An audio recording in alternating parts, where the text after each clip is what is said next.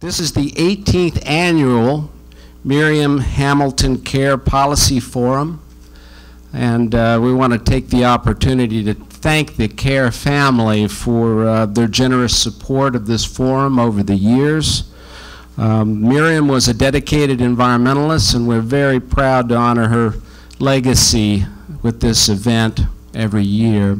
Uh, we have the good fortune of having with us um, her son Doug, who is himself um, a, uh, a, very strong and uh, ever-present supporter of the ELI community and the ELI program of work, and uh, we're deeply indebted to you, Doug. Um, so our purpose today, um, awareness is growing both among security professionals and those in the environmental community that the climatic changes associated with climate change um, are likely to present serious challenges for political stability and security around the world. Climate scientists are pointing to a number of expected changes that will flow with the changing climate, sea level rise, threatening small island states and um, coastal cities, drought affecting the livability of inland areas, melting sea ice, opening new territory to potential conflict and competition, increased frequency of catastrophic weather events. These are just some of the concerns that have been raised with significant implications for the human community, such as competition uh, for water resources and uh, migration of environmentally displaced persons at a scale uh, likely to dwarf uh, the challenge that we're seeing associated with the Syrian refugee crisis now. Uh, as you all know, the world community is about the business of negotiating a set of commitments that are connected to arresting uh, global warming at no more than 2 degrees centigrade as an increase. But scientists are telling us that uh, while this will help avoid the worst of the worst, many of the changes that I've just mentioned uh, will in fact still be experienced, making adaptation and resiliency a critical quest. Uh, ELI's had a number of programs uh, focused both on mitigation and adaptation and uh, has been working to draw attention to the many connections between conflict, security, and the environment, starting with uh, the Institute's groundbreaking work on the environmental consequences of war in the 1990s. Uh, today, ELI is uh, one of the leaders in the global environmental peace building effort, uh, attempting to bring attention to the, the many connections between resources and security and the fact that conflicts are uh, so very often focused on resources and can ignite when basic issues around resource governance fail to be resolved. So because of these various dynamics, ELI is keen on, uh, on opening dialogue across disciplines on the intersection between climate change and security, and we're, we're really pleased to, to bring you today's discussion on this critical topic. Um, we have six expert panelists uh, to, to lead us through the exchange today. Uh, I'd like to introduce our moderator, and uh, he will in turn introduce the rest of the panel.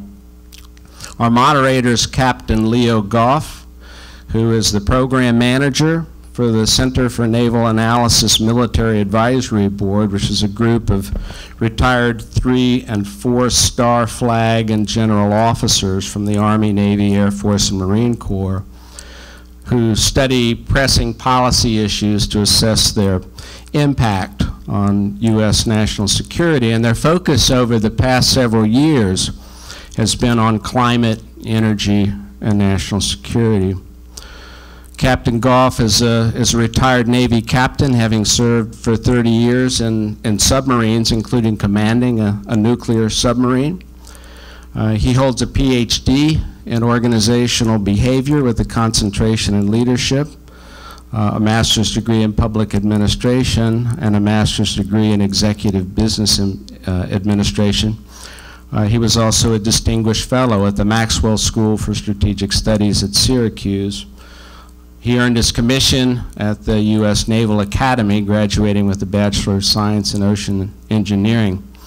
So uh, thank you uh, to all of the panelists for being with us today and, uh, and uh, for your willingness to participate in this discussion. And with that, I'll hand it over to Captain Goff. The floor is yours, sir. Well, thank, thank you very much, uh, and uh, thanks to the Environmental Law Institute for having us on behalf of the panel.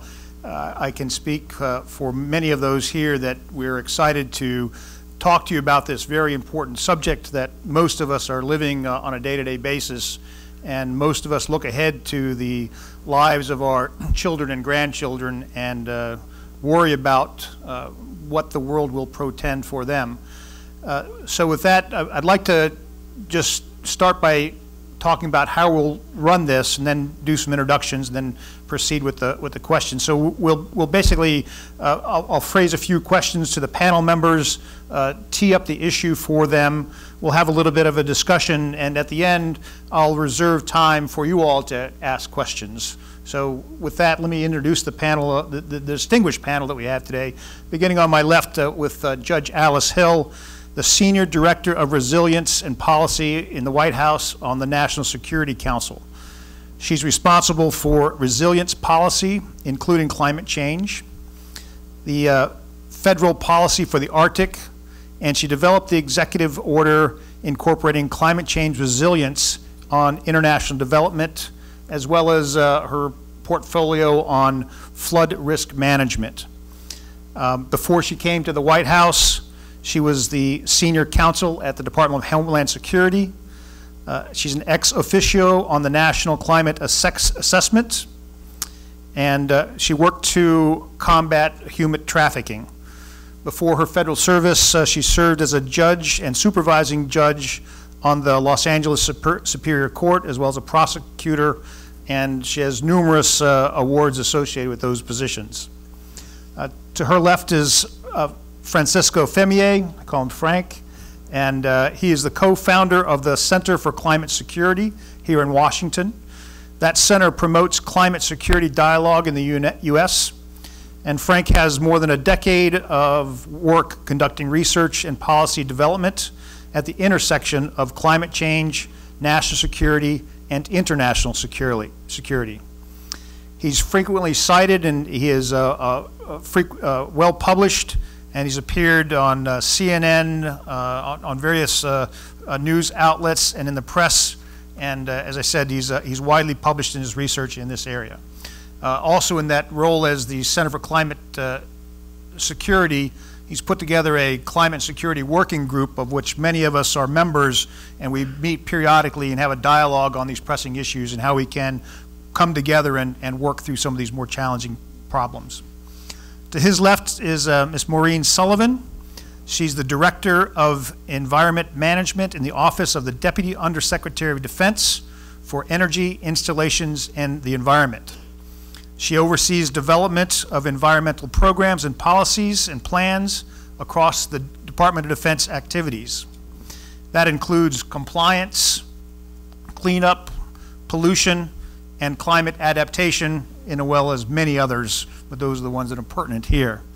And to give you a sense of uh, Maureen's portfolio, uh, the Department of Defense has $850 billion worth of assets, 500 installations around the globe, which includes over 500,000 buildings and 2 million acres.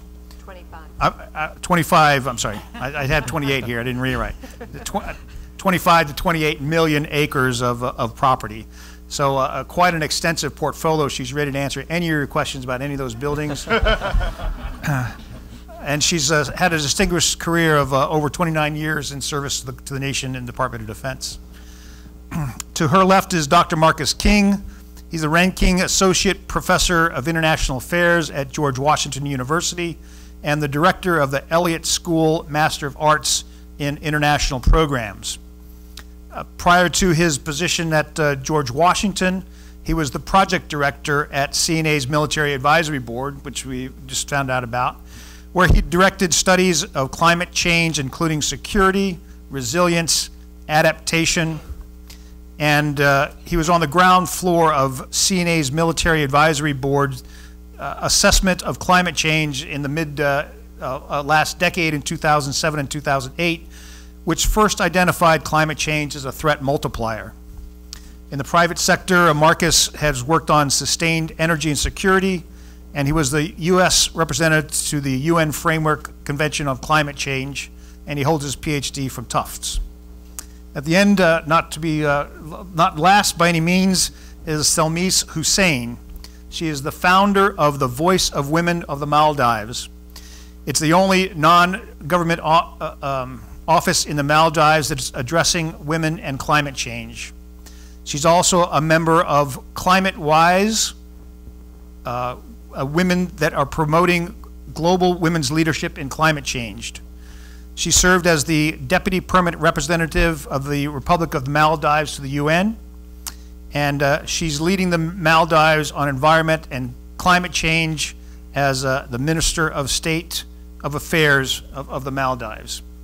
So, uh, a, a, an impressive uh, group of people that are going to be able to answer all of your questions. Uh, what I'd like to do is I'd like to take a few minutes and uh, provide some background about why climate change and why climate change now. And then the, the panel will fill in how that links with security. So the first thing that I want to make sure everybody is clear on is, is the number one issue, reason that climate change is an issue is because we have 7.3 billion people on the globe. Soon to be 8 billion people by 2025, and as many as 10 billion by the middle of the century. So why do I start climate change with people? Because it's about the people. If it wasn't for the people, we wouldn't care that much about climate change. And in fact, the uh, uh, people that uh, ascribe to little action on climate change say, well, the climate has been changing for the, for the entire time the world has been in existence. And in fact, over the last 650 million years, the climate has gone through about seven ice ages back and forth. But the most pertinent thing is that for the last 10,000 years, about the time that people have existed, it's been relatively stable and, and, and in a very finite band. And now what we're seeing is it starting to exceed that band. And it's starting to exceed it by a growing temperature. And again, I'm not a tree hugger, I'm a military guy. So I have a great empathy for the trees and the animals and stuff, but it's really about the people. And so I start with the fact that we've got 7.3 billion people that we need to figure out how to accommodate in this changing environment. So what is, what is changing? Well, first, the second thing I want to point out is that climate, by its very definition, is a 30-year phenomenon. So people that look back and say, well, the climate hasn't done anything for the last 10 years, we're not even talking about climate change. We're talking about weather. That's 10 years of weather. So you've got to look at trends. And military guys are good at looking at trends. That's what we do. We look at trends and we look at how to impact those trends and how to avoid security risk associated with those trends. So keep that in mind. Whenever you hear people talking about last year's weather or five years ago or whether the temperature has gone down over the last 10 years, they're not even talking about climate. They're talking about weather. So you got to look at trends. Um, the next thing I wanted to point out about why climate is so challenging is because we don't have good models we get consensus. So we get really smart scientists in a room and we say, well, your model looks like this, and your model looks like that, and your model looks like that, and here's the trend. Remember that word trends? I'm going to say that over and over again. It's about the trends. And so we try to coalesce these different views around a central theme, and what we see in climate is that it goes like this. 97% of all the scientists thinks it goes like this, and 3% thinks that it doesn't. So you know, you might hear this before, you know, if, if, you, if you had a disease and you wanted to go to 97% of the doctors and say, you know, do you have a way ahead on this disease, you would probably take their advice rather than the three outliers that say, well, just don't do anything about it. It'll get better on its own. So let's talk about some of these trends. Um, the global trend since 1880 is that the temperature of the globe has been going up. A lot of the opponents will say, well, we had the coldest winter ever last winter. Look at how cold it was. Look how much snow there was. That's not the trend. And it's global that we're worried about. We're not worried about the Midwest or California even. We're worried about the globe because that's what we all have to live with, that 8 billion people. Since 1980, we've had 20 of the warmest years ever on the globe in, since we've been recording. I'm not talking about when the dinosaurs were here and know, when fireballs were raining down on the earth. I'm talking about when people were here, which is what we're concerned about. And the warmest 10 years ever recorded by man have all been within the last 12 years globally. So that's why we're here trying to share some views with you because it's happening, it's real, the trends are there. So, what are the major impacts? And we're going to talk probably in some greater about this. The first major one is where does that warming occur most? It occurs in the oceans because that's the big heat sink for all the solar radiation that's coming down on the Earth. And what's good about it is the Earth and the oceans are a big, good heat sink. So they've been moderating this temperatures change because they've been sucking all this heat in. The bad thing about it is that heat is built into the oceans. So we need to start doing something about it quick to even compensate for the heat that's already built into the oceans.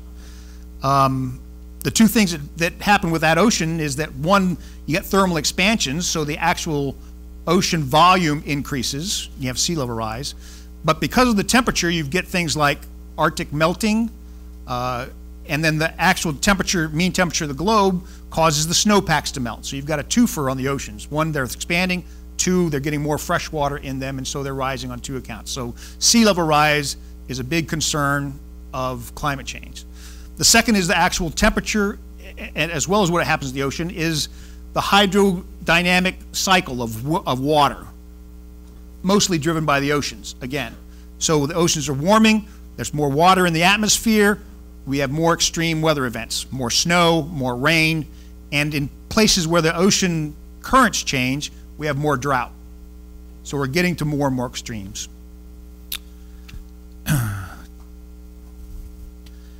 Final thing I want to leave you with is, as the framework for why climate is important is again, it's about trends and it's about most of science and most of what we know is a consensus view. We don't take outliers, we take a consensus view. So I'm going to leave you with that, and I'm going to ask the panel members to fill in some of the gaps that I may have missed, and now talk to you about why this phenomena, this climate change, is a security risk. And to do that, I'm going to first turn to, to Frank, uh, the head of the Center for Climate Security, and, and hopefully you can share with your views about and, and give them a foundation of why it's a security risk for us. Okay, thanks, Leo. And, and and uh, Leo asked me to sort of, you know, defog my uh, wonky brain and, and, and, and, produce something that's coherent. And, and I know Alice, uh, Judge Hill and, and Martin Sullivan and, and, and Marcus and Thilmeeza can, can probably, you know, uh, do a lot better job sort of talking about the broader details of, of how climate change does affect our national security. Uh, they're doing it every day. Um, but I just want to touch on some basic points uh, that build off uh, that build off Leo's uh, Leo's framework. Uh, first, you know, I think the question that uh, a lot of audiences have, including my mother, is why is climate change a security risk? Why does the security community care? Why does the military care? Why does the intelligence community care? And I think it's it, the the important sort of term is is is risk management. So I think for a, for a long time, uh, this climate change was seen uh, as a relatively tolerable risk. I mean, we can, we can deal with this. And I think what's been happening over the past decade or so is that the tolerability of that risk has, has started to decrease. And so, uh, and so, and so, the, and I think the, the, what's happened as a result is the security community has started to really look at this uh, as more than just a long-term risk to think about, uh, but, but as, a, as, a, as a more immediate risk as well. And we saw that, for example, in the 2014 Quadrennial Defense Review. Um, but there are sort of two, I'd say, two very broad baskets of risk that, that I think especially the, the military thinks about, but the broader national security community here in the United States thinks about. And one is, is and I'm going to be very brief on this because I think Maureen is going to go into detail on it later, uh, is on those risks, uh, those sort of uh, direct risks to, to infrastructure, and, and in the military's case, to military infrastructure.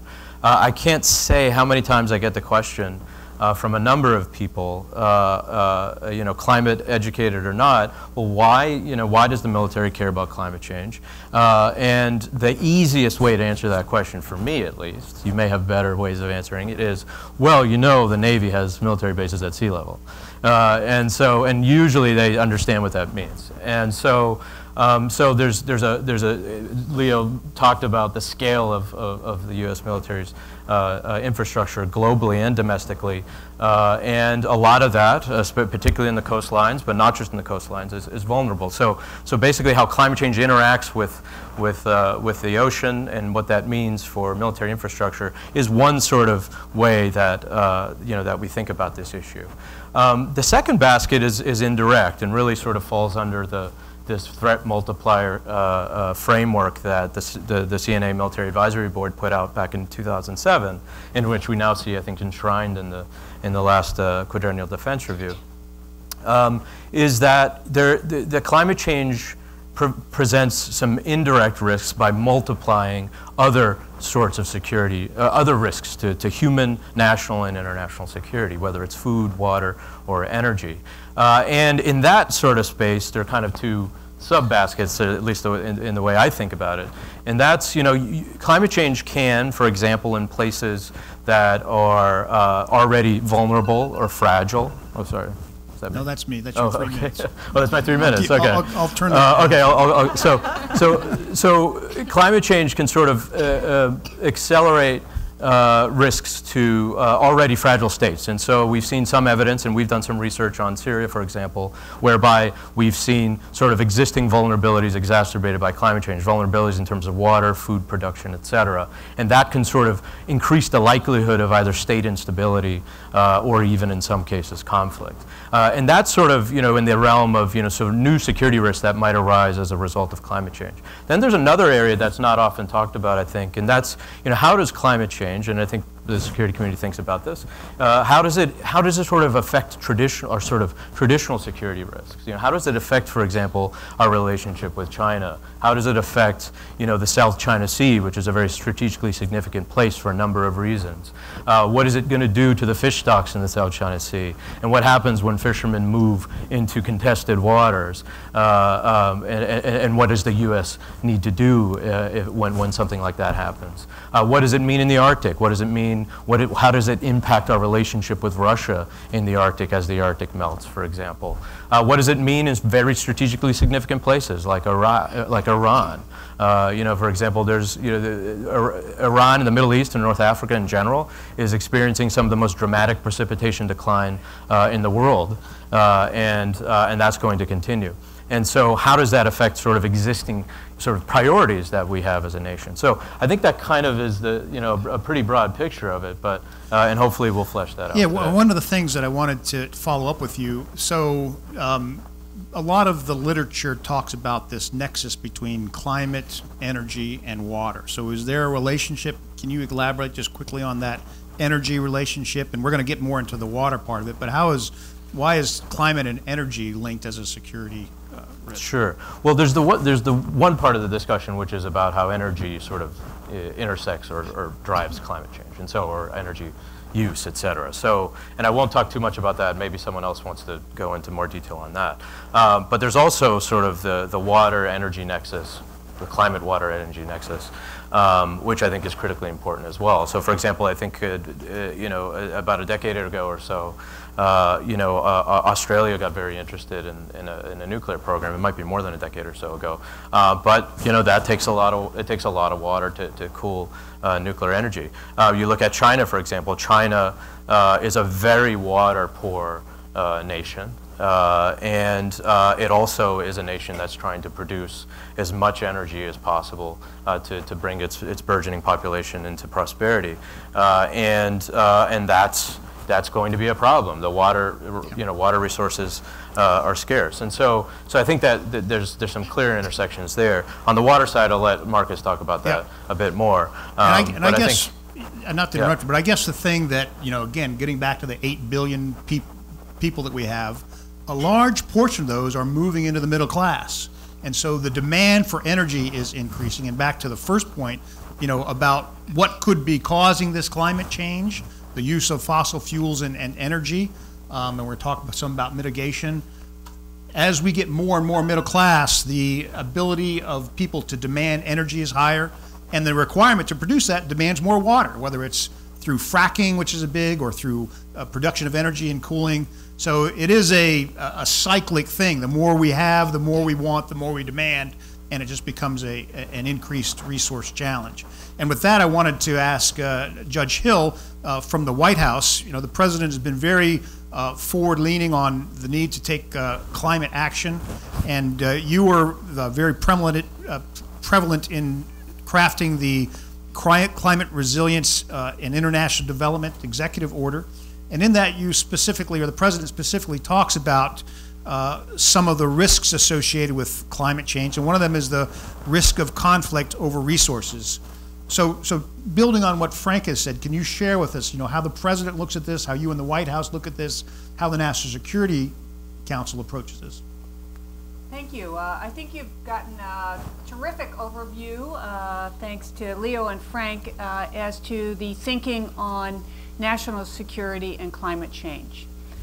One of the things that uh, we see is the framing of this issue, uh, and the framing has often been in terms of our military uh, and traditional state-to-state -state conflict. Uh, and those things are, as has been described, uh, seriously challenged. Uh, the military's ability to carry out its missions, humanitarian increase in demand for humanitarian aid, a high Typhoon Haiyan in the Philippines, uh, seeing more requirements for the military, changes in how they train their personnel this year. I'm sure Maureen can share in the West. Uh, we had to uh, shut down some training because it got too hot. So there, there are impacts on the missions for the military. And there's certainly uh, global implications for uh, mass migrations uh, and certainly some kinds of state conflict most of our framing of the national security, if you look back 30 years ago, it was all about the Cold War. And that's been what people were trained in and how they thought about national security. If you look at uh, how uh, this administration is approaching this, and I think uh, practitioners of national security are, are focusing, it's really about human security. This is about our prosperity, our health, our safety. Uh, and climate change is going to affect every single one of those things. In fact, it already is. Uh, and when you start looking at the size of these impacts, that can be destabilizing to a nation. It really can be destabilizing to a global economy. Uh, the kinds of impacts we're talking about, uh, if we have the ice sheet from Greenland melt, it's estimated that'll be 20 to 23 feet of sea level rise. And the thing you have to remember about climate change is that these impacts are irreversible. You can't just refreeze that ice. We're not going to suck that water back up and shove it back up on, onto Greenland. So uh, as we look at the risks in the risk management world, you begin to think, what does it mean for a country like Bangladesh? They already have salinity problems because the sea is beginning to intrude. Uh, and I'm sure we'll hear about the great and grave risks to the Maldives and other island nations that simply are facing the existential threat that they will disappear. And then you think about what is that cause to migration? Uh, we're seeing examples of migration. I'm not saying they're climate change caused, but of masses of people moving and when we no longer have water, which is a uh, significant risk, we no longer have stability in our food supply. If farmers can't farm, fishermen can't fish because the ocean is acidified, they're going to move. People scatter when they cannot live. Uh, and so that is obviously of a great concern. Here in the United States, I work on the Homeland Security side. We are very concerned about infrastructure and infrastructure resilience. Um, because if you looked at what happened during Sandy, that was a great uh, instructive lesson, unfortunately for us, that when you have one sector of infrastructure, one critical sector fail, there are cascading failures across. And the energy sector, the storm surge in Sandy, because of an eight inch sea rise, came in full moon, high tide at 14 feet. It was expected to be 11 feet. Massive flooding, a substation uh, was shut down. Uh, you saw the pictures, Manha- lower Manhattan's completely dark. Well, with no power, we ended up evacuating 6,000 patients from hospitals. We had no fuel. If you don't have power, you have no fuel distribution. Our wastewater treatment plants failed. And we can anticipate, it's predicted every 25 years we will have a Sandy like event now in Manhattan.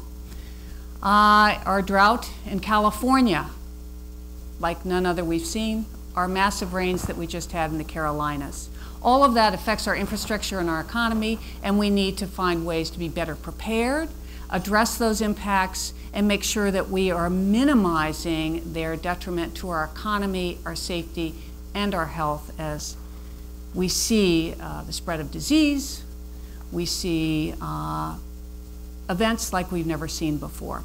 And as Leo has said, you can't ascribe any particular event to climate change, but you can ascribe the trends. The trend is absolutely clear uh, as to the heat. And I'll just, in my last statement, I am a former judge.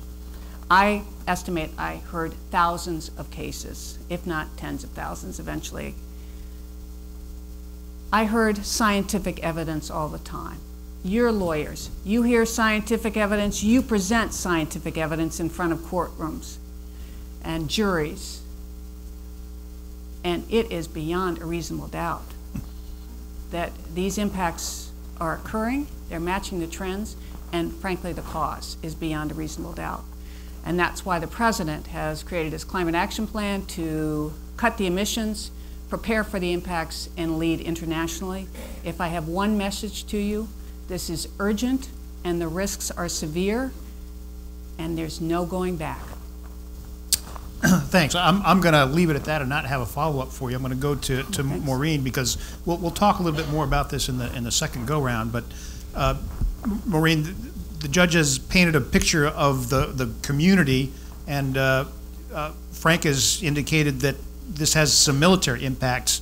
Can you elaborate for this, uh, this organization, A, how the military is approaching it, why these, you know, conservative people, generally conservative people, are embracing this as, as a, as a threat, and then talk to some of the specifics about, you know, what you're doing and what's in your portfolio and how you're doing the climate adaptation roadmap. Um, Well, thank you. Uh, I feel as though I'll be reiterating a lot what Frank and and Judge Hill had talked about. Um, The Department of Defense, and what Leo, you talked about, we deal with risk all the time. That's what military does. They evaluate risk and say, well, given these probable scenarios, how should we plan to address? That just is a military mindset. And in that, we see climate and recognize climate as a risk. And, and we try and bend it in two general areas. One is, um, as been mentioned, is um, what mission are we going to have to perform in the military, whether it be um, issues of conflict and addressing that or humanitarian assistance. So that's one set of areas uh, of activities. The second is what is the risk of our ability to, to train and equip our military service members to be prepared to um, fight the mission um, and perform their duties.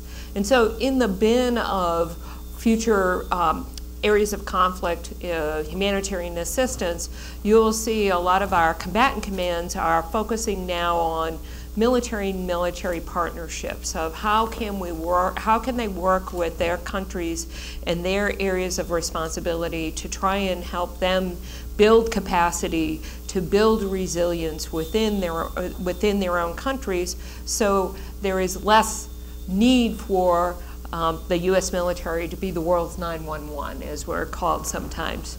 Um, let them build the, the internal capacity.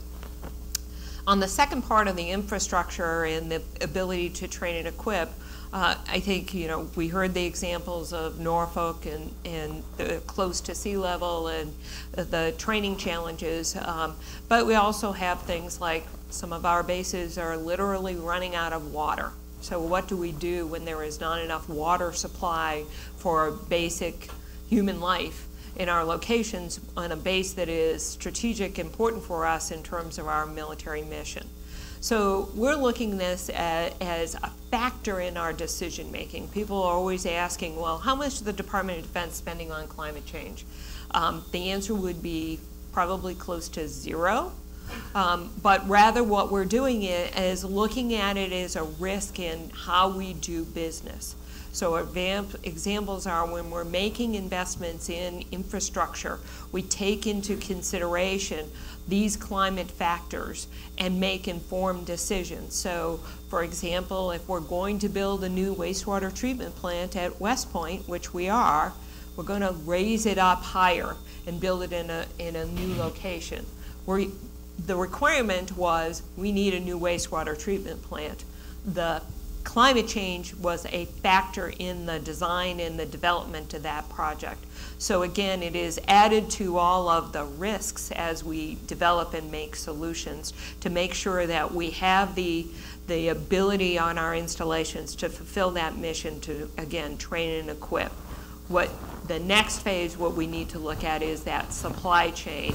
Is our in that equip round is is our supply chain strong enough to be able to withstand these changes, so we can continue to have the supplies and equipment coming into us, so that we do have in fact a ready force.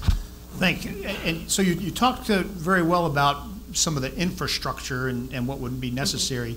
Um, do you see in, in, in your portfolio and others how climate change today is impacting the ability to train, um, whether that's ranges or the fires and some of those. Can you it, share some of that? Yeah, and it is absolutely a huge, I mean, it's on multiple levels. I mean, we've talked about how um, we're having days that are so hot, we call them red flag days, where we cannot train for, even though, and remember, with the military, you're talking a young, healthy workforce.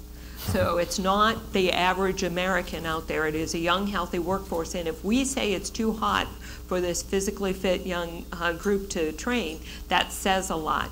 But it's also about um, 25 million acres of land, a lot of endangered species. So what are the issues associated with species and habitat and mi migration of, of species and habitat? So areas where we could train before, habitat and species moving in, can we manage?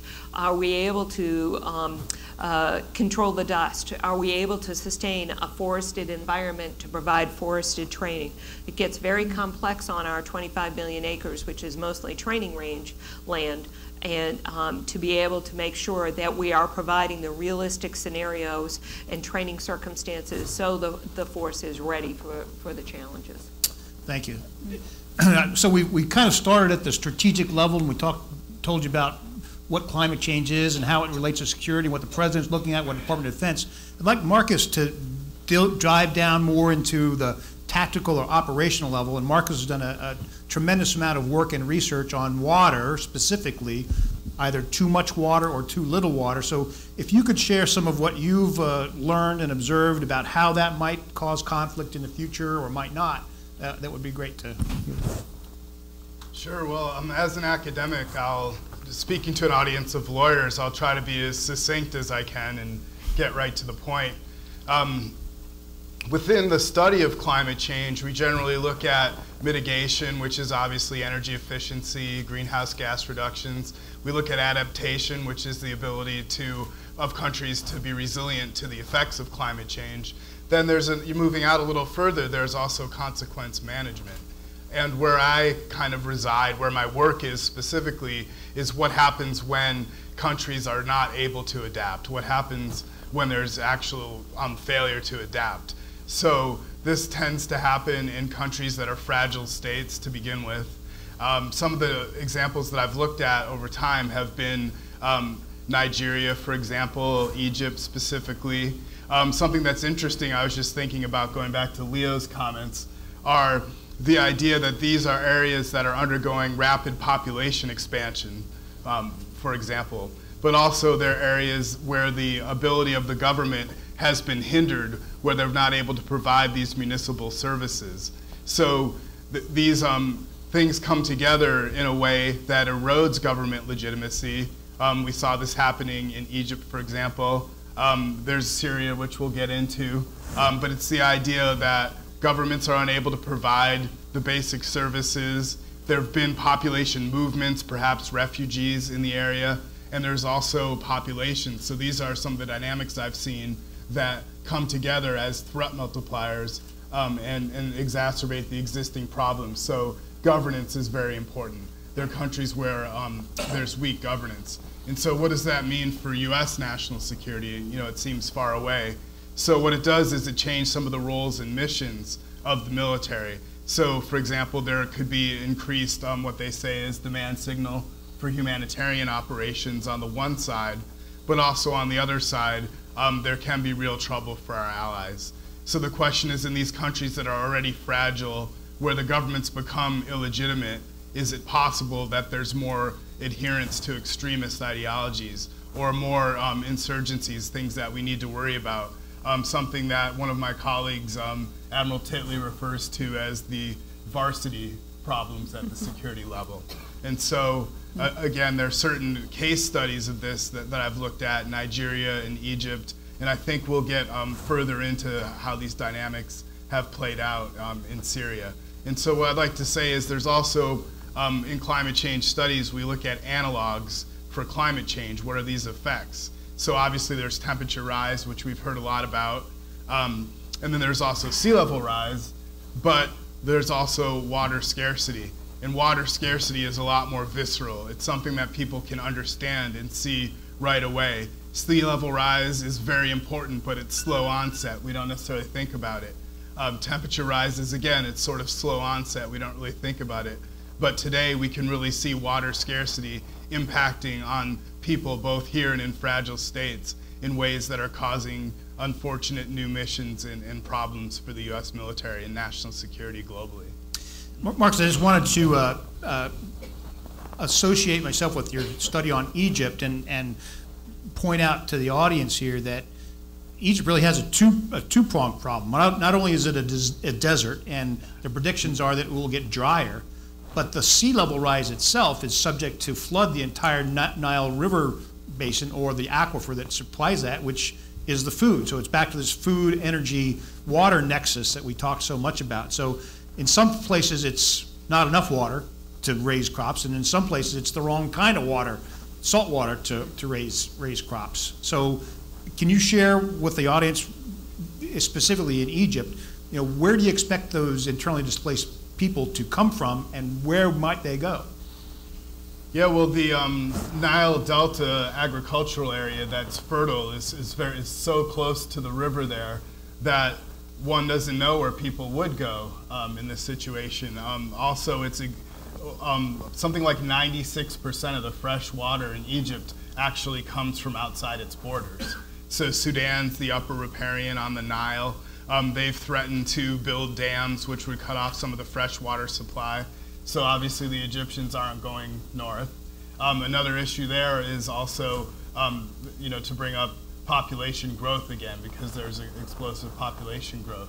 So unfortunately, without um, new technologies, perhaps desalination, um, it's really hard to understand how the fragile government in Egypt is going to be able to provide for the people and provide these municipal services. So I wish I had an idea of, of where they could go, but I really don't.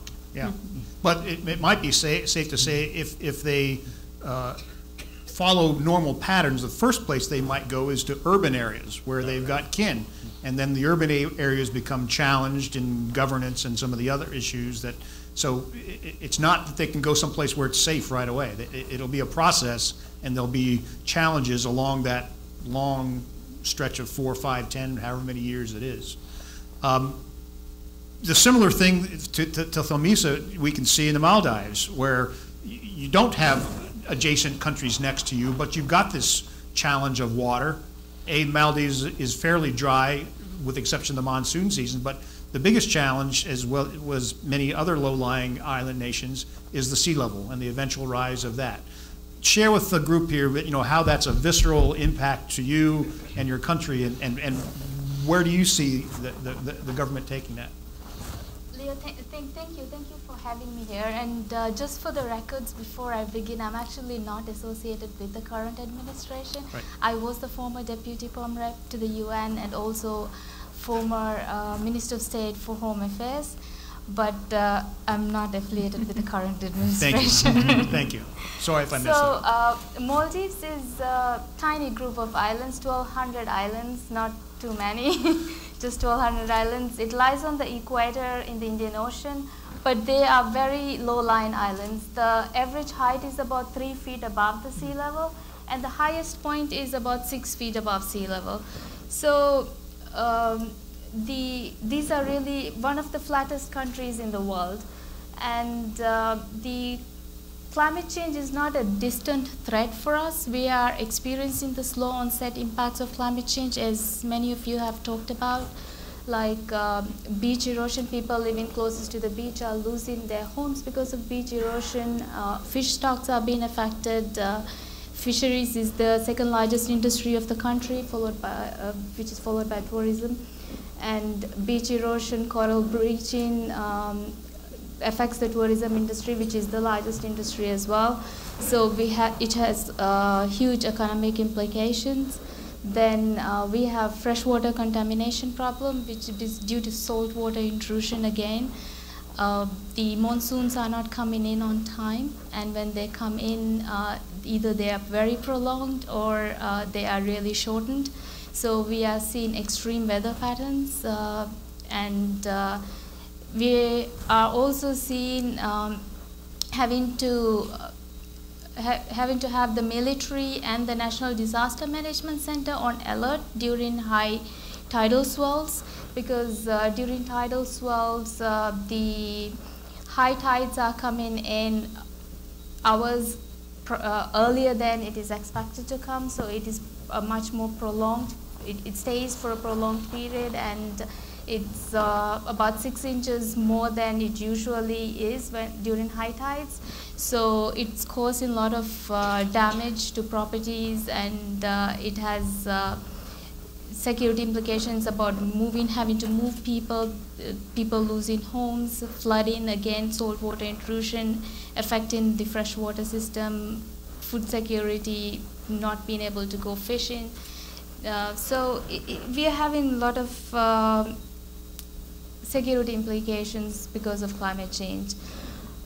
Want, so one thing I wanted to highlight is that um a scientist, um, Dr. Hansen, who was um, who was uh, with NASA before, but uh, is now with the Columbia University. According to his latest study, which is going to be published in a peer-reviewed journal, the sea level rise is going to be about 10 feet by the end of the century, but the IPC study says it's going to be about 3 feet above, uh, 3 feet by the end of the century. Even 3 feet means countries like Maldives is going to disappear. We're not going to exist. Leave alone, uh, but I think uh, that's talking about uh, end of the century. But far before that, it's not like slow. It's it's not like one day the sea level is going to rise and all the islands are going to be submerged. Submerged. But far before that, because of the slow onset implications of climate change, these islands are going to be uninhabitable. And I think um, yes, it urgent and bold action, uh, mitigation action, adapta- adaptation actions are necessary and needed. But at the same time, we have to start uh, talking about uh, climate refugees, environmental refugees.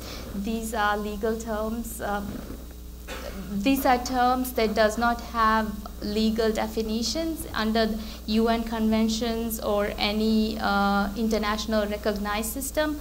IOM talks about it. Uh, they are working on a definition for environmental refugees, but the term first came up in 1976. That's like even few years before I was even born, but we still haven't been able to come up with a definition for environmental refugees, and it's expected to be about 150 to 200 million people, which is like we're talking about 600 million people. Uh, Syrian refugees uh, are about six, 6 million people, but now environmental refugees by 2050 is expected to be 150 to 200, which is, uh, according to some of the IPCC numbers, okay, it might be a little less or more, but uh, these are the figures that we are looking at. Thank you, thank you for that. Uh, Just a very quick follow-up before we move to the, the next round. Um, You talked about the average height of the Maldives, but my understanding, there are certain islands that are at sea level or one, only one or two feet. So is the government already making plans to move the people of those islands, or are they on their own to, to find out ways to, to Um, we, they're not making plans to move people yet in the Maldives, but uh, one of the things I want to mention is Maldives is a country where you don't have insurance, like homeowners insurance and things like that in place. So when people who li- live close to the beach, when they lose their homes, there is no insurance mechanism in place that could kick in, and so you can relocate. So there are a lot of internally displaced people within islands, uh, within atolls but there is no mechanism in place to address these issues. Loss and damage is something that is in the UNFCCC process that would hopefully address the issue in the future, but uh, nationally and internationally, currently there is no issue to address the issue. Uh, To address internally displaced people. Thank you very much. So, so it- it- resilience is a, a challenge, especially in the Maldives. Um, We, in the United States, have a, a, a more optimistic outlook on resilience. Uh, and I want to address a, a follow-on question to both uh, uh, Judge Hill and Maureen to talk about how the federal government and the Department of Defense is looking at resilience at key areas. Uh, Specifically, and I, I, I hold this up as an example uh, for the group Hampton Roads. Many people know that the Navy's got a big base there, but we've got 29 bases in and around the Hampton Roads area. And one of the ones that is probably most vulnerable is Langley Air Force Base, where we have Air Combat Command, which is at sea level, just a little farther inland. So I know that under Alice's, under your direction, there's been some, co- some cooperation between the community and the Department of Defense. Perhaps the two of you could share with us how that linkage is, is happening, working, what was the genesis of that, and what we see as the future of that. Sure. Um, So uh, Hampton Roads, as Leo has said, is home to um, about 30 military installations and also a large civilian population. And Hampton Roads, like much of the uh, East Coast, is suffering from increased level of sea level rise compared to, uh, say, the West Coast right now. And I didn't realize this, but the sea doesn't rise like a bathtub. You're going to have some areas that have more rise and some areas that have less. And uh, the Eastern Seaboard happens to be having more right now. And then Hampton Roads is subsiding uh, for other reasons. So you have a quite a difficult situation. Uh, you have uh, somewhere over 80% of the civilian population for these bases living off the bases. And you have routine flooding, tidal flooding that uh, severely impacts the ability to get around. Um, so the community wisely has come together under the auspices of Old Dominion University and has invited DOD and others uh, from the community to come together to try to reach a regional, regional plan for what they will do to be resilient to sea level rise. And this is a model for what we hope will happen uh, in the rest of the United States. It is happening in some places. In Florida, there's the Southeast Regional Compact, uh, and certainly uh, uh, in California, there's a great deal of planning going on and on a regional basis and within the state, New York uh, region as well. So the hope is that we come up with uh, sound decisions. Um, and it is a very difficult conversation. Uh, the first question that was asked at a panel uh, organized by Senator Kaine, or not the first question, but one of the questions I remember the most vividly, uh, was posed to a panel that I was uh, seated on. Well, how high should we plan for? Pretty basic question. And fortunately, the oceanographer, oceanographer for the Navy, uh, Jonathan White, at the time was on the panel and gave a very succinct answer. But really, we don't 100% know what the level of sea level rise will be. So even if you're planning to build a seawall, which will not, I believe they concluded, will not work in that area because there's just too many miles of coastline, you need to know how high to build it. Uh, and we had some examples in New York City uh, subway station uh, that had been built, planning for an 11-foot storm surge. So they put the, the entrances high enough so that they could withstand. They said, you know, we really don't think it's ever going to come in higher than 11 feet. And that subway station, for at the cost of a half a billion dollars, was completed just a year or two at the most before Sandy hit. And of course, it was flooded out from top to bottom, including with uh, fouled water from wastewater treatment plants that had failed. So, um, and now it's going to cost another half billion to repair. I don't, I should have checked. I don't know if it's open. The last time I checked, it had not reopened. And the question for all of us is, how are we going to afford this? Unless we start looking at our infrastructure, in particular, that's designed to last 50 or 100 years, and give our best estimate based on the climate science as to high, how, how high we need to build, or how large do our drainage systems need to be to handle the amount of water that fell in the Carolinas. If you're going to have rain bombs, and we have them here on the East Coast, where in five days enough rain fell in that area to solve the problem in California, enough area of rain in, in South Carolina that was 10 inches deep across the state if you just laid it out flat. Where's that water going to go? So our pipes here and uh, our uh, drainage system here in Washington, D.C., some of it dates from the Civil War. So kudos to those engineers. They really made this stuff last. But for us, as we are making those choices to real, rebuild or build better, we need to take into consideration the impacts of climate change, and that's what we work on in resilience. Infrastructure is a key place for the United States to start, as well as any investments overseas. And that's why we also said if we're going to spend money overseas on development um, projects, we're going to make sure that those are resilient as well to the impacts of climate change. So they last the projected uh, impacts and they are not, we're not just throwing money away uh, with the next storm or the next challenge. Thank you. Maureen, did you uh, want to add quickly anything to that? Sure. Um, well, to get to the point, uh, somebody mentioned, you know, 80% of the population in Norfolk lives off base. That's common across our military infrastructure, and, but you also add the whole civilian workforce. So our, our bases, we can't treat them like islands uh, uh, cut off from the surrounding. So we're in the process of doing three pilots. Um, one of which is the Norfolk area with Old Dominion University. The second one is in the state of Michigan with the Michigan National Guard and the Michigan State Police. And the third one is in Idaho at Mountain Home um, Air Force Base.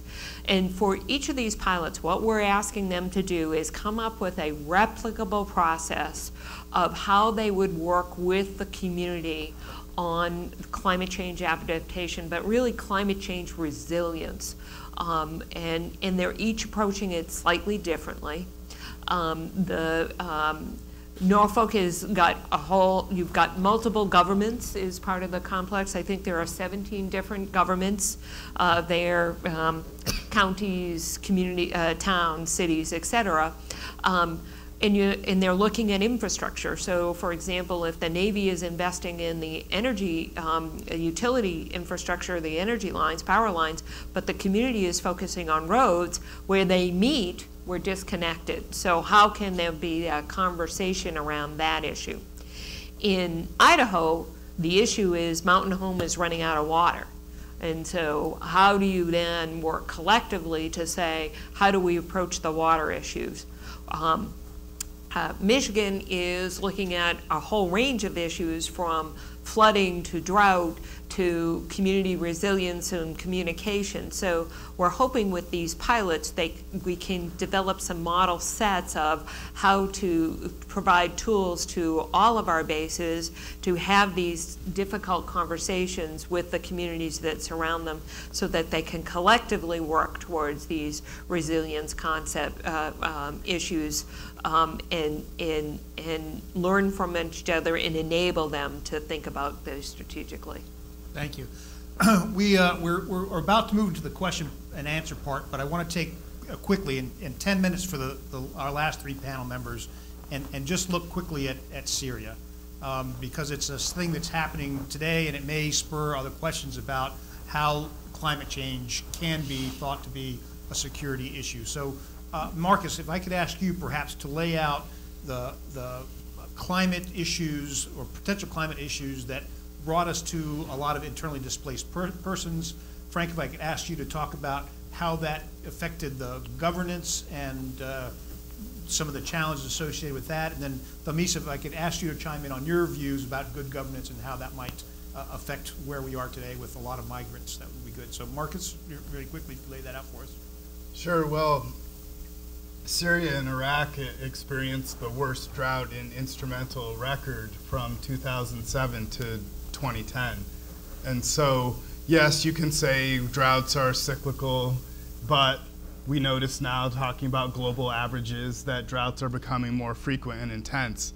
And so, what happened, particularly in Syria, which had seemed to be relatively stable compared to some of the other countries that were disrupted by Arab Spring, was that pastoralists, farmers, um, crops were severely affected. Um, these farmers then um, moved to urban centers, um, largely in the north of, of the country, and they were sort of um, relegated to the peripheries of these urban centers. And again, they were not um, able to have access to the normal municipal services afforded to the people in these cities. And so some of this was a, a problem seen within Syria of the political elites um, who were provided for better. Um, and there's been a lot made of the of the um, sectarian differences in Syria, but what we looked at, um, the research project that I did, was some of the other underlying environmental disparities um, and divisions within the society. So those people who were um, relegated again the peripheries of these urban centers, so many of them were young. There was this youth bulge, population growth. Um, some of them then became radicalized um, with, with nothing better to do. This tends to happen with young men.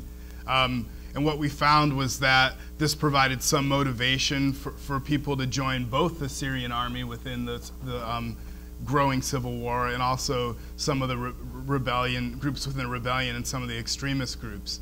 So there were these underlying en- environmental drivers which led to the secondary um, causes of migration, urbanization, which provided sort of a body of people that could become radicalized in, in this And- area. And so Frank, how how does, how does governance, as, as climate change is a threat multiplier, how does the governance factor into some of that? Yeah, I think it's important, and, and you know, uh, to, to talk about how, you know, governments in the region, including the, the Assad regime at the time, um, you know, should, shouldn't be absolved of, of their deficiencies.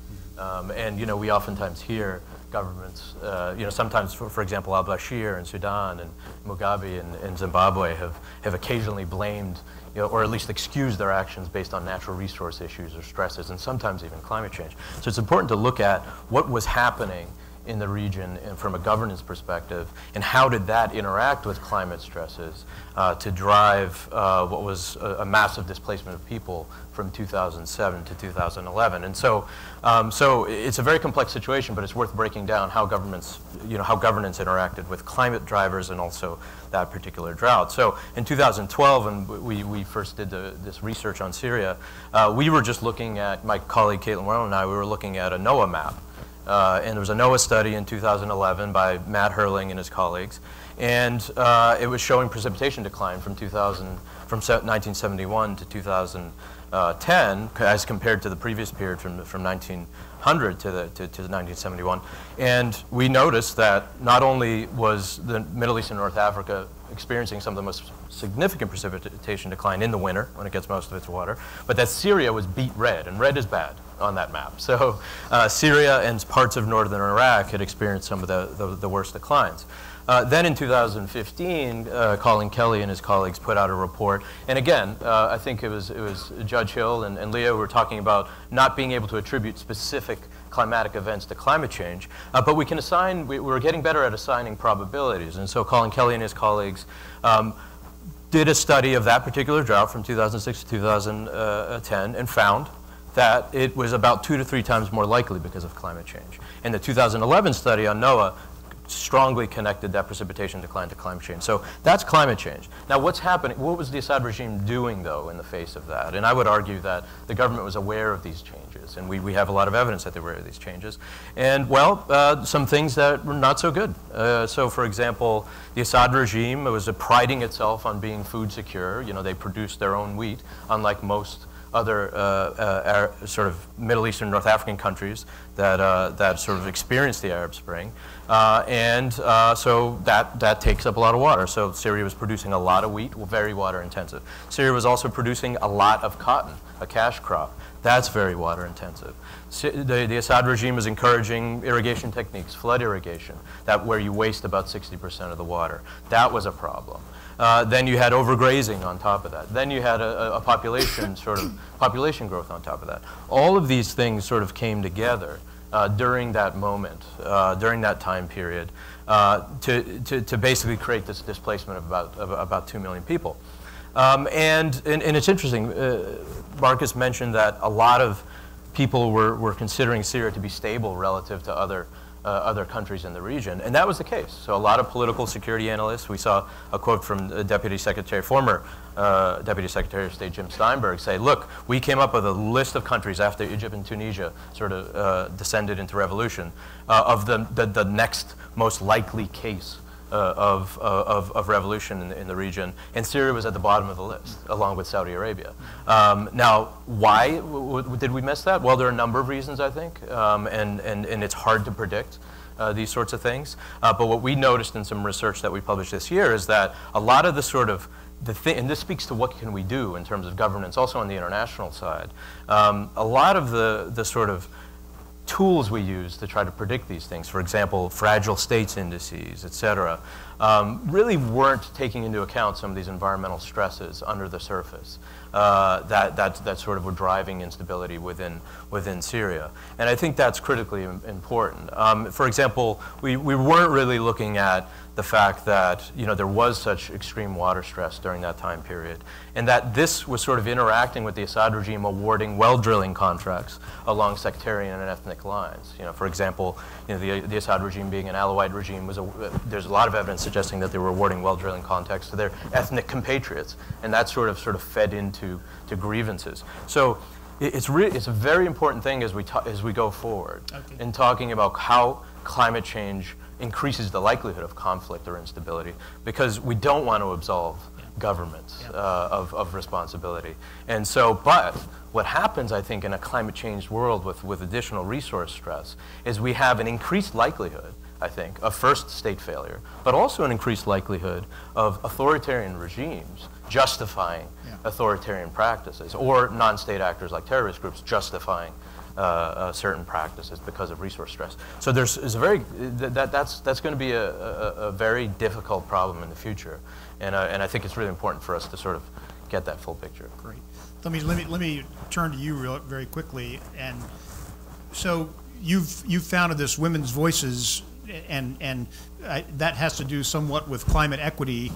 Can you elaborate on this, this notion of good governance and, and, and how um, places like the Maldives fuse good governance and, and climate equity?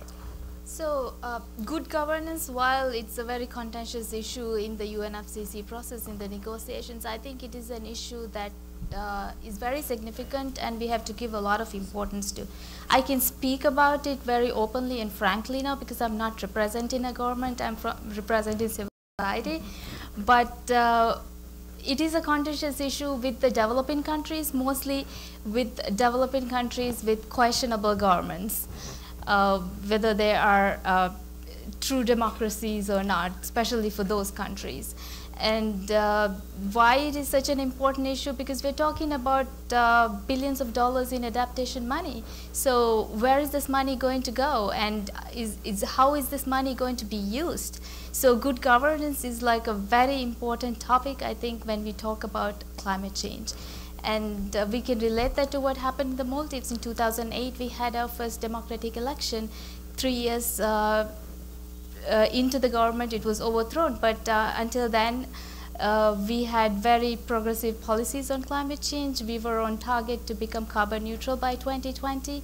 And when the government was overthrown in 20, uh, 2012, it has since 2012 the country has been very unstable there's a lot of political turmoil going on even right now and uh, now special interest groups are actually looking for oil in the country which is very it, it's a complete u-turn from where we were in uh, 2000 from 2008 to 2012 when we had a short democracy so So I think, it- I think it's fair to say, both of these, both of these examples, that uh, you can see where climate change and the impacts of climate change certainly can add stress to any governments, whether that's the U.S. government in responding to Sandy and, and the challenges of billions of dollars of infrastructure that we've got to figure out how to protect, versus developing countries or, or Syria's and, and the other areas of the world where people are eking out a living across the country and the challenges that the, that government has to provide. So with that as kind of an overview, I will uh, offer to take some of the questions from the audience. We've got about uh, 20 minutes uh, before the end of our time and however long Stephen and uh, Brett want us to go and, and, the, and the panel could sit. So uh, Brett, raise your hand and Brett will uh, come to you and uh, ask your question. State who you are, if you would, please, and then if you've got a question for a specific, uh, ask away. If not, we'll, we'll kind of direct it based on the expertise here. I'm Doug Kerr, and I'm going to start my remarks by apologizing for two things. Um, one uh, is that I'm probably going to take more time than I should, as try as I will to keep it short. Uh, and the second is that it's not exactly a question. Uh, uh, the first thing I want to do I'll, is I'll put my clock then at three minutes. the first thing I want to do is, is congratulate the panel from uh, right to left and left to right uh, for an excellent job of highlighting this set of relationships uh, that was a well-selected set of relationships, and I think very well clarified uh, by you.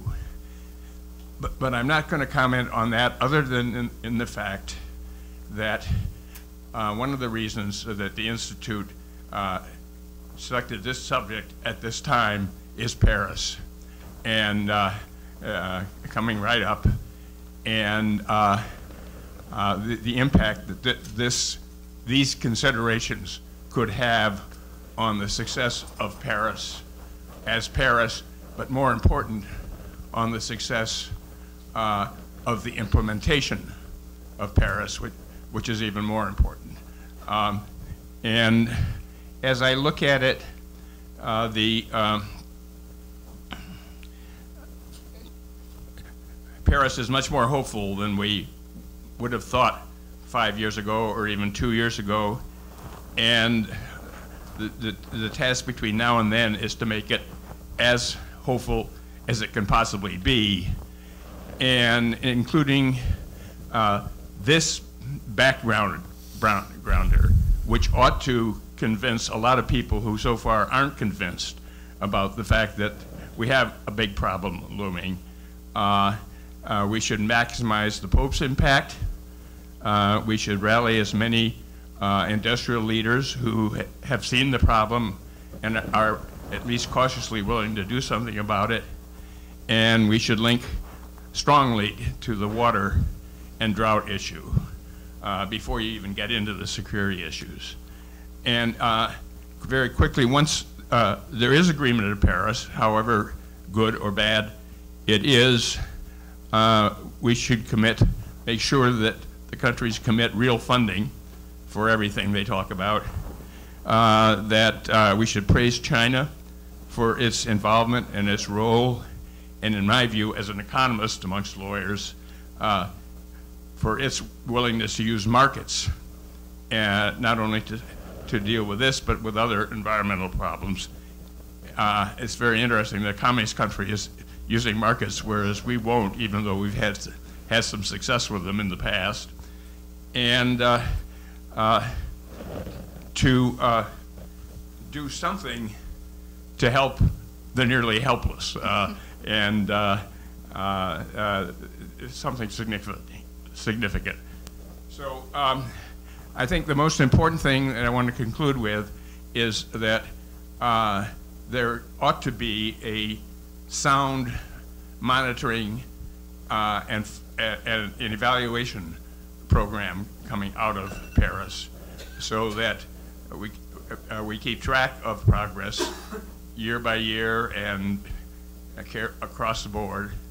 And secondly, that we should have a program for follow-up steps coming out of Paris uh, to seek opportunities to strengthen what still won't, won't deal with half the problem uh, as it's being, uh, we're approaching. Thanks, thanks for your comment, and uh, I know that uh, some here can't really comment too much because uh, it's an ongoing issue, but, I- but I will say that uh, from what I see here in Washington, uh, under a rubric of security, it's a different way to talk about it, and it gives some that are uncomfortable talking about it a platform from which to speak. So that's why uh, several of us are here raising this issue from a security point of view. Uh, I will just say that one thing that you uh, said struck a chord with me, that we don't necessarily need to talk about this about security, we need to talk about it in terms of drought. That is security, because it's all about human. So drought, food, and energy are all human security, and without that, you have national security challenges. And I think that we might have laid that, uh, that framework out for you. So um, I wish that you would have addressed that side of the room when you say we need to, we need to, we need to, because it's really the collective of this organization and others that are going to make those things happen. Uh, we are some voices that are, you know, calling attention to this issue, but it, it, collectively, it is, you know, the, the human consciousness that are, that are trying to do that. Yep. Can I make one point? Uh, Please. Leading up to Paris, I, I, um, uh, there, last week, the um, Fran- French Ministry of Defense actually hosted 189 represent, uh, countries' ministries of defense to talk about climate and cli- what they can do. Um, so you are seeing um, the, the ministries of defense coming together um, on a fairly large scale to talk about these issues in the lead up to, to, to, to the upcoming discussion. Yeah, and, and if I could add to that, I think the UNFCCC process is very important. Uh, and, but I think what can what, what helps is forums like that. These are mm-hmm. these are this is a defense forum. So we've seen also, for example, the NATO Parliamentary Assembly, which a lot of people have never heard about, but you know put you know showed you know de- Yeah. demonstrated that it was that climate change is a very important thing. We need to look at things like the Halifax International Security Forum, where a former Secretary of Defense spoke about climate change at that forum, which is very much about traditional security issues. So mm-hmm. I think it's important for us to sort of take this issue out of its environmental box, including internationally, mm-hmm. and, and talk about this issue uh, in, a, in a number of forums, including those forums that are, are, are traditionally focused on sort of you know, more, Right. more traditional security issues, whether it's Iran or Russia, et cetera. So, so I think that'll, that'll also help. That might, I mean, Paris is coming very soon, but, but, um, but you know, I think that kind of thing going forward is going to be very important in order to get sort of a, a whole of society approach to this issue. Because when we talk about security, it's not sort of narrowing the issue. In a way, we th- you know, the way we think about it is that it sort of broadens uh, the scope of the issue and also broadens the, broadens the scope of the response. And it doesn't mean it's just a security response. And I, and I would, I would also add that, as Judge Hill pointed out, there's a whole economic side of this. You know, we're focused on security. There's just as a powerful of economic argument about how we're going to suffer the loss of billions of dollars of infrastructure if we don't take some action soon. So those two, those two things together should cause any, both sides of the aisle to recognize that, hey, we, we need to do something about this. Let's ask another question. Uh, Brett, I'll let you, I'll let you choose. We got one over here on the right-hand side. I know William was there. Oh, you got something in the back? Okay, in the back. Get William there. Um, My name is Betsy Delaney, and I'm ask, I kind of want to ask the panel an opinion question. Um, With regard to the weather patterns in Syria, had those weather patterns been what they had historically been with normal precipitation, would we have the situation in Syria that we have now, even given the bad governance and, and all of those issues? Uh, Marcus, take a crack at it first, and then Frank, you can add. Well, I wouldn't. I wouldn't go so far as saying that the change in weather, um, again, the drought being, uh, as Colin Kelley noted, two to three times more likely because of climate change, um, in and of itself, that's would not have determined the outcome. So I think there's still, of course, would be a war there. It's just that among the constellation of factors that um, contribute to the misery, create the atmosphere uh, where people could adhere to um, more radical organizations or, or join military um, organizations. I think that um, in that constellation of factors, there's sort of a clear driver of the weather and climate, but certainly um, these things could have come together um, perhaps maybe a bit later. Um, but but, but certainly I, I, believe that the you know climate itself is not a causal factor; it's a contributor. You know, going back to this idea of threat multiplier. Um, you know, exacerbating existing political cleavages, um, poor governance, and um, population migration.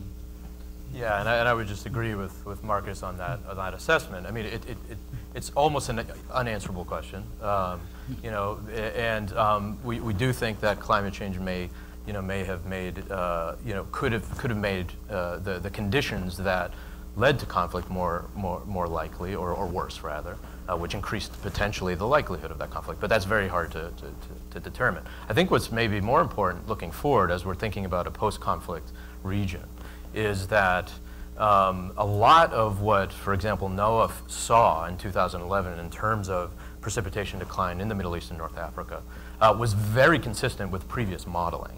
Uh, and so what that told us was that our models uh, on precipitation in the Middle East and North Africa were very good. And when we look at our models going out 10, 20, 30 years, we're looking at a much drier region going forward. Now, it's very hard to predict what kinds of political, economic, demographic changes we'll see over the next 30 years in the region. But actually, when it comes to climate change, and when it comes to precipitation, we have some, some good predictive tools in place. And so we can start to sort of figure out how do we take that information and try to build a more resilient you know, region in the future. And, and I think, frankly, that the security community tends to think in those terms. You know, so how do we, how do we lessen the possibility of conflict. I, I would I would offer that um, in 50 years we'll have a better answer to that. Because we have to look back historically and say yes, this and that because of this, and the laissez-faire caused the French Revolution type of thing. But we're the frog in the water right now, right. and we keep dipping our finger in it and saying, yes, this seems different because the finger's the only thing that's out there in the air. And we keep saying, yeah, it seems different. So it's challenging to say that, and that's part of the challenge right now, is that we are inside of this climate bubble trying to predict what climate change is going to do. And I got to go back to my first argument. It's a 30-year phenomenon that we're in the middle of. So it's, you know, I don't know that anybody could say that, but those of us in the security realm say that it certainly didn't make it any better. I can guarantee you that. Uh, over here. Uh, my name is William Bennett. I'm with the Federal Energy Regulatory Commission. I want to thank you as thought leaders for sharing your reflections about intersection of climate change and national security issues. Uh, as you all know, there's been a lot of development in the United States of natural gas resources and oil resources, and there are even large gas fields off the coasts of Egypt and uh, Israel. Um, what impact do you think development of energy resources in the United States or in the Mediterranean region will have on national security and global security issues? To take that? I'll, I'll, I'll, take a crack at it. So it's a, it's a two-pronged question you asked. First, um, from a climate mitigation point of view, natural gas from a, from a CO2 emissions point of view is better than many of the other sources of energy that we have dirty car, dirty coal, uh, heavy uh, tar sands, et cetera. So the more natural gas that we use to solve our energy problems, the better that we are off from a strictly carbon point of view. But it still puts a lot of carbon in, in the atmosphere. The second part of your question from a national security point of view, and it really has less to do with climate as it does to do with natural resources, is what do we do that? Do we put that on the open market or do we not put that on the open market? and that's more of an economic issue than it is a, a climate issue. So uh, natural gas is better from a carbon point of view than many of the others, so that's a good thing. Um, how that plays out in a in a globally traded energy commodity um, is, is, a conversation that would probably be better suited for an economic uh, course of discussion than from a climate course. Uh, Next question. I, we've got about uh, five minutes left, so that's about two or three more questions. We'll go over here.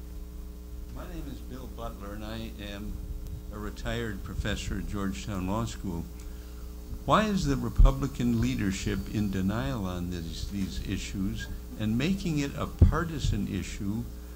And what can we do about that? It would seem to me that the issues you've been discussing are affecting everybody, and solutions should bring people together rather than separate them.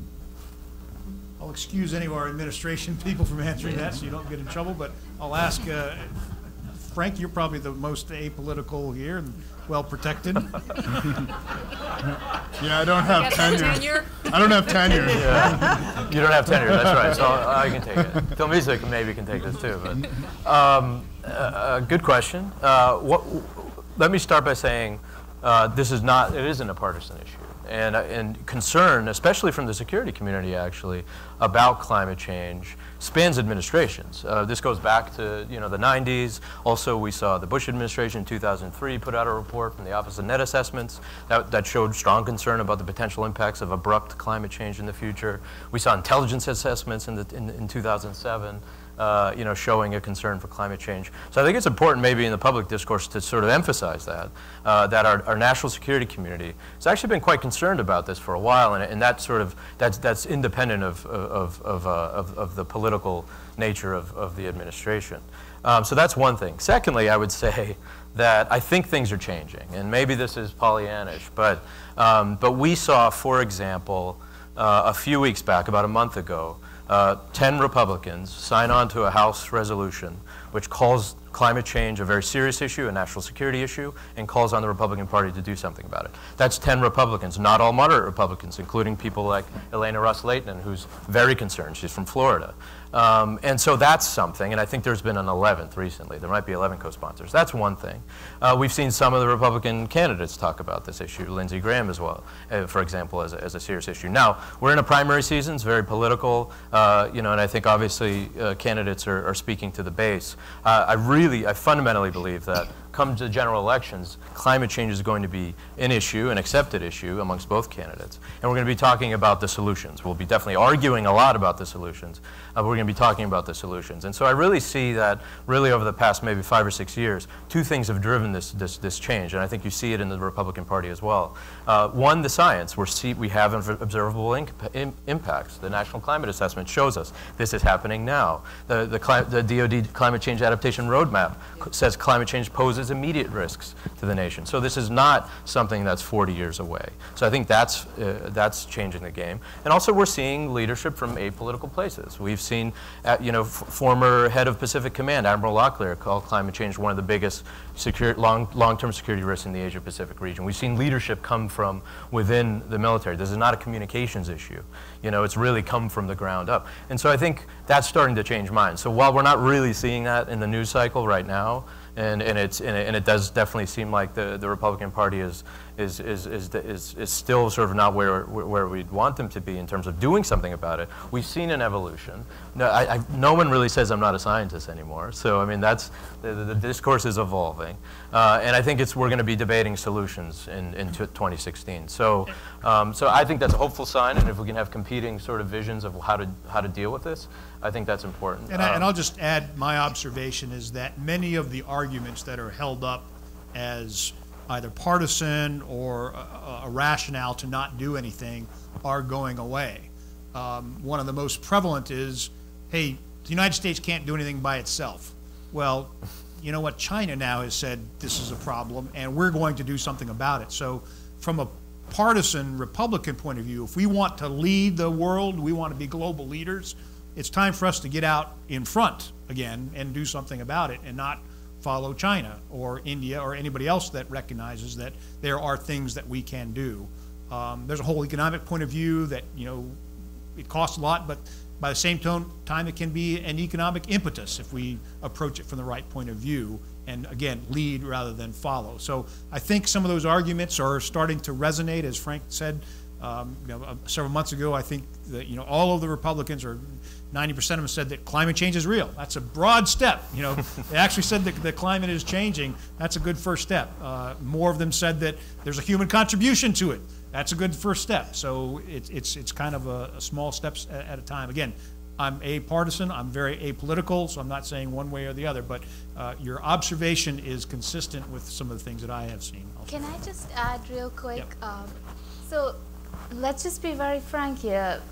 Those who are in office, whether it's Republicans or Democrats, it's those who we, I mean, those we elect into the office. So I think it's very encouraging to see. I just saw some statistics yesterday that 79% of American public now believes in the science of climate change. So it would be very interesting uh, going into the uh, presidential elections uh, in the next few months how the debates shape out to see how, what kind of a, a significant role climate change is going to play both in the Democratic Party debate and the Republican Party debate. We saw um, in, in the Democratic Party debate, I watched that uh, climate change was a big uh, talking point, but in the Republican Party debate, it wasn't so much. But I think we are seeing quite a significant change. And I, and I'll just add to that, it, it is certainly a younger person's issue. And so, um, because the younger people are going to live through it more than some of us that won't be there when it happens. So if that, if that base starts to resonate as an issue, and what are you going to do about it, people will start to respond to that. I'm gonna take, we got to wrap. He's, he's, he's the guy. I tell you what, I'll stay around, and if, if others want to stay around uh, here for a while, some, some others have press engagement, so I'm happy to take your questions, uh, you know, kind of one-on-one, and, and others might stay around for a, a little while. Let's give our panelists a big round of applause.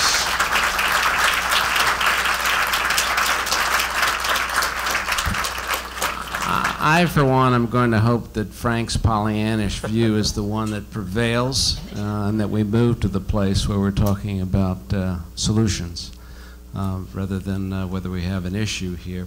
Um, and, uh, you know, I think there's probably a sense within the room that this particular angle on the climate question somehow does not find its way into the public debate to the extent that it should. Uh, and maybe we all need to be challenged uh, by that um, and, and figure out how to make that more a part of the discourse around this issue. Uh, a wonderful program. Thank you all for your thoughts. For those of you who are um, staying for the uh, for the awards dinner, which we hope will be most of you, um, if you find your way out of the room and uh, bend to the right, um, you'll and across the lobby you'll find the registration tables and shortly thereafter refreshments. Uh, so uh, thank you all again. Uh, thank for coming out for the thanks, forum. thanks to Brett and Steve for, uh, for setting this up and for doing uh, such a good job on it.